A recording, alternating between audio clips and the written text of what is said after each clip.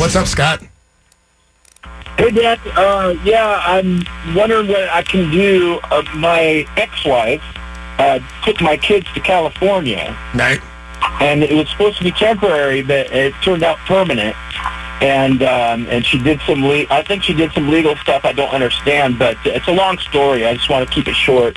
Um, but uh, now I'm trying to talk to my kids, but, and and she won't let me. She's like maternally gatekeeping me, is what I heard.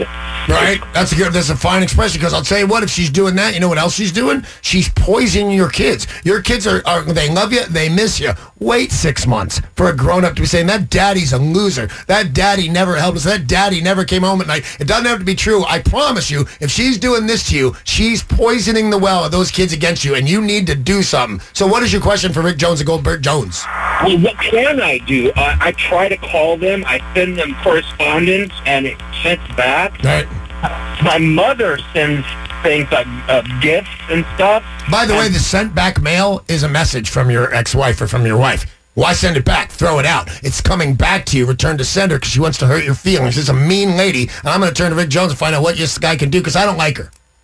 I don't like her either. Okay, we all don't like her. There's a start. And Danny's 100% right that, Scott, you need to do something now. Uh, otherwise, it's simply going to get worse. You obviously have a parenting plan since you were married already, correct? Yes, Okay. And was that done in Washington? it was revised when she went to California. But still states that I, I I'm fifty percent. Well, it was revised in California, or or or it was revised in Washington when you went to California when she went. She To, revised it saying that she's getting remarried. yeah. So, Okay. but the, the question is, was it done in Washington?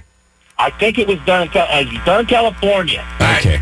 In either event, Either your way, next step is to try and modify the parenting plan, basically saying one of two things. Either you weren't involved the first time, which sounds like it to me, so you're trying to, to get rid of the default, saying, hey, I'm here, I want some clauses in here, or full on modify, talking about it being a long distance parenting plan now, because obviously every other weekend doesn't fly, Right. but certainly once every three months or part of the summer or during holidays, those things certainly fly. So that's what you need to get get in and do. You need to do some research because I'm willing to bet this actually happened in Washington, Scott. That's what and I that, thought. And that would be good news to you. So so don't worry about being wrong on this one. That would be great. Right, because she hadn't left the state yet. Why would it be done somewhere else? It was done in Washington exactly. so she could move to California. Uh, I would say here's the other thing that I think you need to go get a lawyer right now. This would be foolish to try and navigate these seas by yourself, man. Thank you very much for the call there, Scott. Danny Bonaduce, life